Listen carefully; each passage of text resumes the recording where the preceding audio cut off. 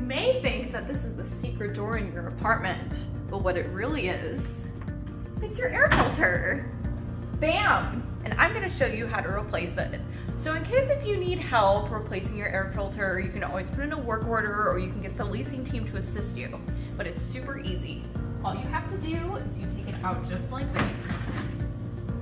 See? And when you get a new one, you just prop it right back in.